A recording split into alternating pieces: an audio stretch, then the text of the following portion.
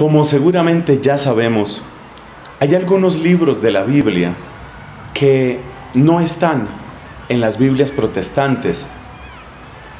Es un pesar porque se trata propiamente de una mutilación del texto de la Escritura. En la Biblia completa, la Biblia católica, tenemos por ejemplo al libro eclesiástico. Ese no está en la Biblia protestante. Tenemos el libro de la sabiduría. Ese no está en la Biblia protestante. Y hay dos libros, bueno, son más los que marcan la diferencia entre Biblia católica y, la Biblia protestante. Pero hoy quiero referirme sobre todo a dos libros porque los vamos a encontrar en estas en estos últimos días del año litúrgico son los libros de los macabeos. Los libros de los macabeos nos transportan a una época muy difícil del pueblo de Dios. Probablemente estos acontecimientos los entendemos mejor si recordamos que en el siglo VI antes de Cristo los judíos fueron deportados por supuesto, a la fuerza, a la ciudad de Babilonia. Jerusalén fue devastada, saqueada, profanada, incendiada.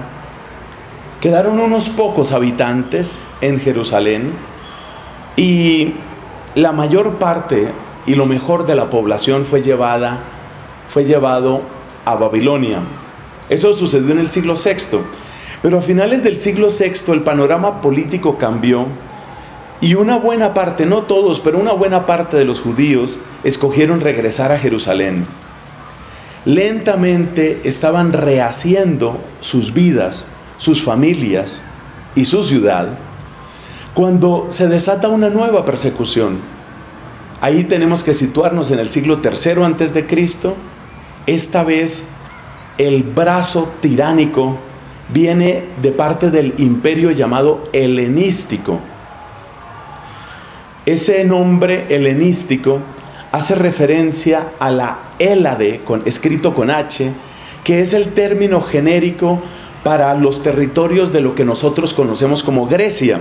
Es decir, el imperio helenístico es el imperio que tiene que ver con la expansión de la lengua y de la cultura griegas por toda la cuenca del Mediterráneo y por una parte de Asia y del norte de África.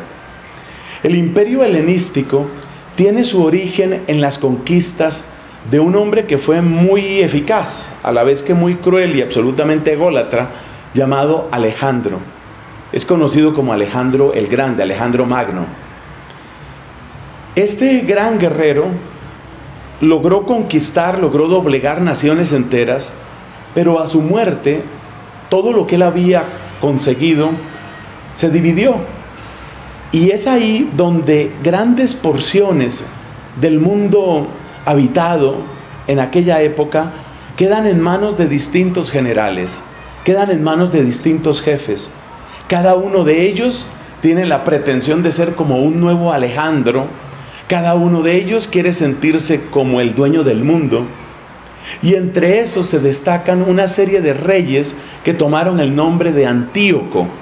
Estos Antíocos, que son herederos del imperio de Alejandro Magno, son la expresión tal vez más visible de la arrogancia y del totalitarismo.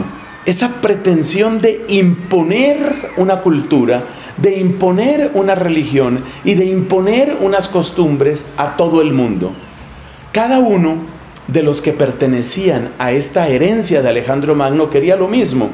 Y estos reyes, estos varios reyes de nombre Antíoco, pretendieron, por supuesto, llegar hasta ese rincón del mundo llamado Palestina para imponer también sus costumbres y sus leyes a los judíos. Lo que ellos no sabían es que se iban a encontrar con gente de verdadera convicción. Se iban a encontrar con hombres verdaderamente llenos de fe y estos fueron los macabeos. Así que preparemos nuestro corazón para escuchar en los siguientes días la obra valiente, pero sobre todo la obra de la fe en esta familia de líderes espirituales, en esta familia de guerreros del Señor, en estos macabeos. Ese es el banquete para estos próximos días.